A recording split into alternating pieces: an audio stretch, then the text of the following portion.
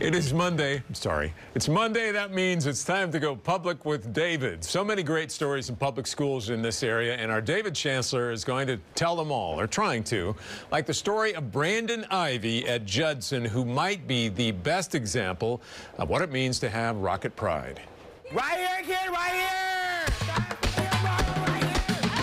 Senior mindset, senior mindset! He is part coach, part trainer, with a heavy dose of team motivator thrown in. Oh, oh, oh, oh! But if you're looking to sum up Judson High School student Brandon Ivey in two words, those two words are rocket pride. Rocket pride is something that you find within yourself. The age old question what exactly is it? When you can be true to yourself and serve and genuinely love your community and the people you play with, you start seeing those kind of characteristics. Judson softball coach Teresa Urbanovsky says some have it, some don't.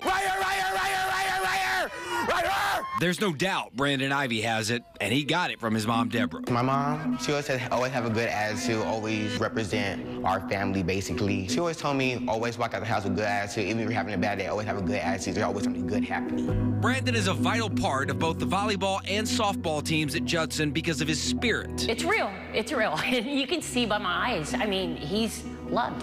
I see him as one of our own kids. I see him as one of my players. I see him as a gift from God.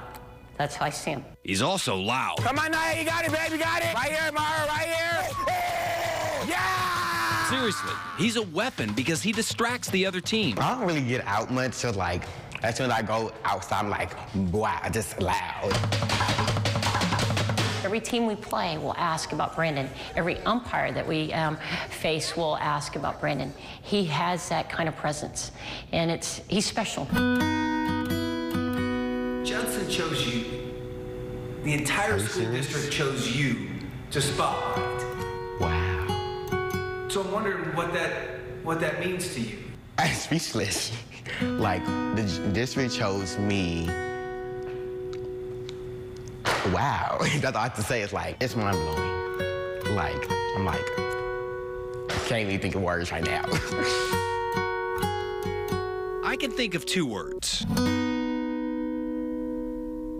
Brandon is hoping to become a physical therapist one day, but his impact goes beyond that. It's mental and emotional to the team, something very important in sports. Now, Brandon knows what to say and when to say it to all the athletes, and that's a skill very few have in coaching. Be sure to watch the evening break every Monday for the best stories from area public schools, and be sure to follow Go Public on social media at We Go Public. I'm David Chancellor, News 4 San Antonio.